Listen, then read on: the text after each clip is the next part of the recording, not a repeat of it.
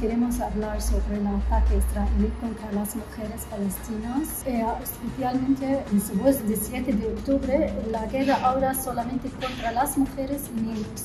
Las mujeres en Palestina están sufriendo mucho últimamente, eh, no solo desde ahora, lleva más de 70 años sufriendo cómo está pasando las cosas ahí, está muy peor en la parte de sanitarias, en la parte económica. Y nada, queremos decir que desde Mallorca por Palestina apoyamos totalmente la lucha de las mujeres en Palestina y las mujeres de todo el mundo. Y queremos que para la guerra y para el fuego y que las mujeres ahí tienen derecho a vivir y tener un buen futuro. Tener un ambiente mejor.